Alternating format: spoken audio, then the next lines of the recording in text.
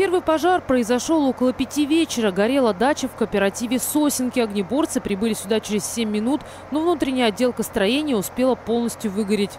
Произошло возгорание на земельном участке. Послужило этому возгоранию неправильная эксплуатация, монтаж печного отопления. То есть получается э, прогар в стенке и с последующим воспламенением. А вот в 11-м микрорайоне на улице Пионерная горел частный жилой дом. Сообщение о пожаре поступило в 9 часов вечера. Из-за угрозы распространения огня на соседние строения сюда прибыли 4 единицы техники и 15 человек личного состава. Причиной возгорания э, является перегруженность электрооборудования.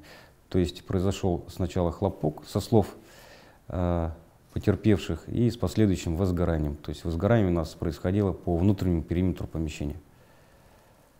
А учитывая условия и низкие аномальные такие температуры у нас, то есть у нас получается влага высасывается с дерева. Дерево вообще сухое, практически как сера.